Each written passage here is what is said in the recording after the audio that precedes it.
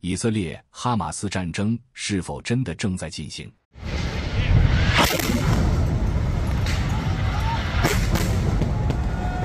一九九一年，法国后现代哲学家让·博德里亚在法国报纸《解放报》上发表了三篇文章，后来翻译并在英国报纸《卫报》上发表，以回应伊拉克的海湾战争。这些文章分别是：海湾战争不会发生。海湾战争并没有真正发生，和海湾战争没有发生，分别在海湾战争之前、期间和之后发表。博德里亚认为，美国干预萨达姆·侯赛因入侵科威特的行动在很大程度上是象征性的，因此在许多方面，这场冲突在很大程度上是基于象征主义的。此外，对于西方人来说，战争的很多发生都在电视屏幕上。战争是一种积极掩盖科威特和伊拉克实际冲突的性质和事件的方式呈现的。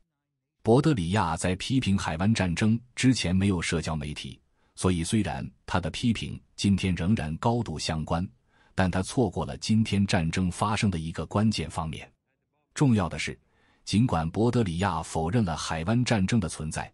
但他并没有否认，在其中造成的破坏正是这种破坏使得战争对博德里亚来说无效，因为他认为战争意味着两个对立方之间的一定程度的可比性或冲突。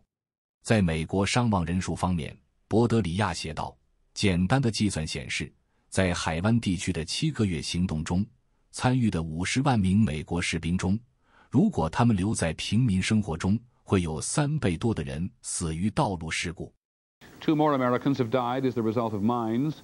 The overall U.S. death toll is now 89. 与此同时，美国联军对撤退的伊拉克车队进行的轰炸和对伊拉克的民用和军事基础设施的轰炸，估计已经杀死了十万名伊拉克人。即使伊拉克人遭受了灾难性的损失，两个对手甚至没有面对面交锋。这意味着撤退的伊拉克士兵在被轰炸时，甚至无法向美国军队投降，而是向电视摄制组投降。在很多方面，这在今天的以色列巴勒斯坦冲突中也是如此。在制作本视频时，加沙卫生部估计已有一万零五百六十九名加沙人在以色列轰炸中丧生，还有更多人被困在废墟下。以色列高级安全来源表示。这一数字可能是其两倍，几乎达到两万人。同时，他们还夸耀已经成功杀死六十名哈马斯高级领导人。以色列轰炸活动中还存在进一步的不对称。在十月七日哈马斯袭击之后整整一个月，以色列报纸《哈雷兹》只刊登了一千一百五十二名遇难者的名字，而报纸报道的数字仍然是一千四百。可能在内塔尼亚胡政府看来。一千四百才是正确的数字，因为他们把在哈马斯手中的人质也算入了死亡的人数。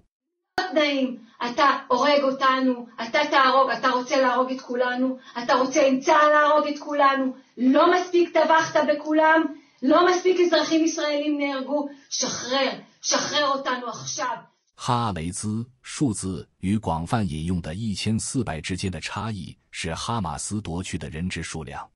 战争意味着，或至少曾经意味着，两个相等或至少可比力量之间的激烈冲突。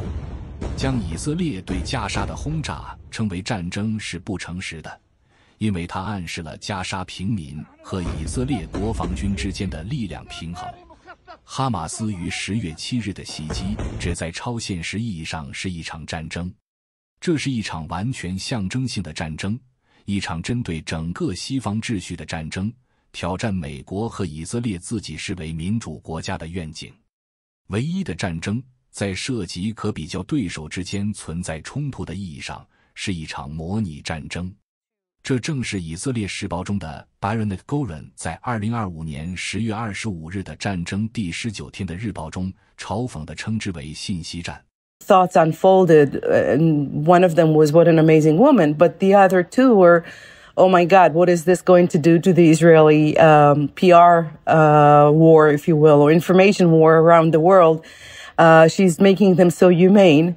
And 除了在以色列轰炸活动的影像中建立了一场战争，通常是从加沙的外面展示的。 我们作为观察者，对战争的理解几乎完全是通过电视屏幕和社交媒体、新闻频道通过对以色列轰炸活动的影像，通常是从加沙的外面展示的，来建立一场战争。因此。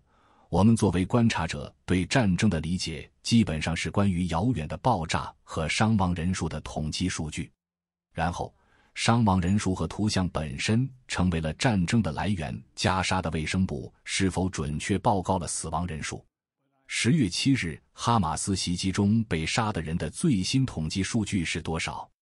我们看到的视频是否被篡改或伪造了？这些问题得到了报道。然后成为以色列官员和巴勒斯坦大使以及活动家将要争取的信息战斗。这场战争的不对称性的一部分，无论是对加沙的不分青红皂白的轰炸，还是信息战，都在很大程度上基于战争的影响。这意味着哈马斯在十月七日的袭击在视频中表现出色。哈马斯战士劫持人质并对以色列人实施暴力的图像，有助于符合以色列官员的叙述，即哈马斯。因此，所有巴勒斯坦人都是人类动物。与此同时，以色列在轰炸加沙平民方面进行了清洁战争。在哈马斯战士实施暴力的视频中。我们看到哈马斯战士在以色列人身上实施暴力，特别可怕的是，年轻人在 Nova 音乐节上遇到暴力哈马斯叛乱分子的图像。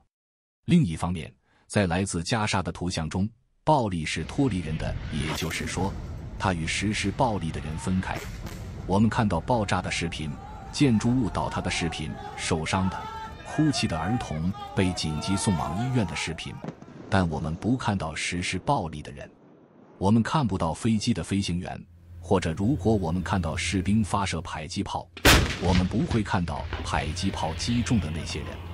这是以色列的清洁战争。以色列军队继续坐在一个虚拟的防护罩后面，铁穹，而数千名加沙人则被炸得粉身碎骨。这也使以色列的宣传机器能够对加沙的破坏提出质疑。如果我们不看到以色列国防军士兵对加沙人实施身体伤害，那么这是真的吗？有报道显示，演员在一部关于加沙轰炸的黎巴嫩电影中化妆，作为证明加沙人只是危机演员的证据。另外，由于我们不能看到投弹人、炸弹在空中掉落和炸弹击中目标的图像序列。因此，大部分媒体只能报道遥远的爆炸，然后根据以色列国防军发言人的说法，这些炸弹是针对使用人肉盾牌的哈马斯领袖。因此，在某种程度上，当以色列国防部长约阿夫·加兰特将哈马斯称为人类动物，暗示他们的暴力和邪恶是动物般的事，他是对的。哈马斯参与了一种动物本能，极端情况下。使他们能够对其他人造成伤害，这种可怕的动物本能在我们内心，使我们能够在历史上的几乎所有战争中对其他人进行暴力。被忽略的是，加沙的轰炸活动是一种独特的机械邪恶。以色列飞行员在不曾面对他们的情况下炸死了他们身下的人。他们在一套确保目标是哈马斯的军事官僚体系的保护下，免于对平民的伤害。在这场不对称的媒体战中，战争罪犯变得混淆不清。哈马斯显然有罪，匿名的哈马斯暴徒戴着绿色头巾，成为绑架和杀害定居者的明显罪犯。以色列的战争罪行无法归咎于任何个人。因此，作为犯罪行为变得更加不合理，是内塔尼亚胡下令执行了特定的空袭，造成数百名平民丧生吗？是以色列空军指挥官汤莫巴尔吩咐的吗？是一名愤世嫉俗的军事情报分析师坚称一个哈马斯领导人藏在充满平民的特定建筑物中吗？投下的炸弹只是不准确和无目标的吗？以色列的整个军事体制是否接受平民伤亡的概念？可能所有这些都是真实的。以色列的战时政府、以色列军队的高级领导人、挑选目标的情报分析师、投下炸弹的飞行员。但尽管构成这些机构的人对更多的死亡负有责任，但在官僚杀戮体系内，他们作为个体，同时更不负有罪行。哈马斯可以由一个戴着头巾的匿名战士所体现，同时又可以普遍化为威胁西方秩序的存在幽灵，渗透到大学校园。After all the, the news of the barbarity, and they're out there with pro Hamas demonstrations. to see schools like Harvard have all these students signing these declarations in support uh, of Hamas. 假扮难民潜入美墨边境。We know that there's a lot of people that have come into this country who are not accounted for, that we have no idea who they are, haven't been vetted. 以色列的战争则相反，没有一个士兵对加沙的任何死亡负有责任。加沙平民的鲜血分散在整个机构内，对加沙的威胁也完全是物质的。而非幽灵的。同时，在西方，以色列的战略重要性如此重要且如此全面，以至于对以色列作为一个国家而非世界犹太人的攻击甚至批评，都被视为对西方民主和自由世界的攻击。感谢观看，这是一则关于以色列巴勒斯坦问题的华尔街前线观点文章。第一部分还有许多部分。